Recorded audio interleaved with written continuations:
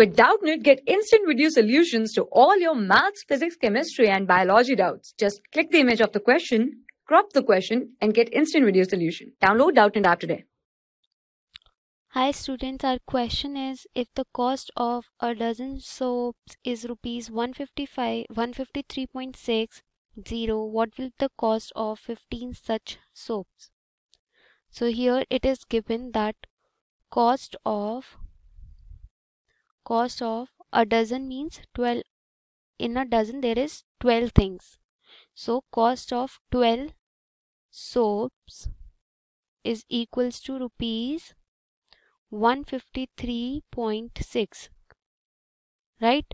Cost of 12 soaps is rupees 153.6 so cost of one soap cost cost of one soap will be equals to 153.6 right?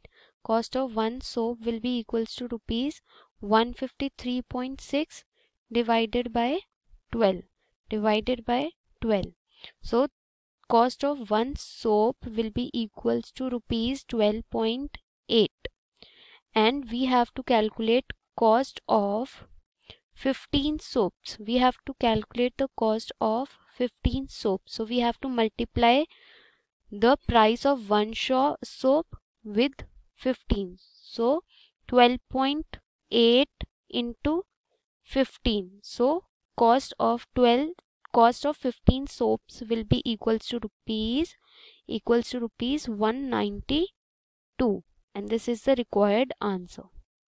For class 6 to 12, IIT JEE and NEET level. Trusted by more than 5 crore students. Download Doubtnut app today.